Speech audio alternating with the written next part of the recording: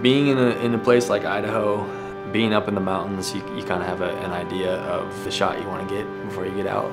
And uh, waking up early, you're in, you're in that right light, um, the excitement of getting that shot, not knowing what, uh, what you're going to get will get you out of your sleeping bag pretty early. And uh, it's never not been worth it. Uh, my name is Dusty, I'm from Forest Grove, Oregon, and I'm a photographer. I'm not very artistic when it comes to drawing or writing or anything like that, but give me a camera and I feel like I can make a piece of art with it. When I'm editing a photo, I'm looking for rich, powerful color, and a solid monitor helps make sure everything is accurate, from the camera to the computer all the way to the print. I work from home, and so I'm dinking around the computer quite a bit, looking into some presets and, and customizing them to my own liking.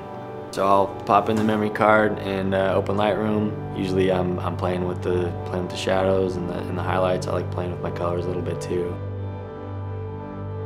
Um, I think it's those moments in photography where you know that you've got a good one and you've got a little surge of excitement when you're in that moment and you know as soon as you look at the back of your camera that that's something special and for me those exciting moments get me up and, and after it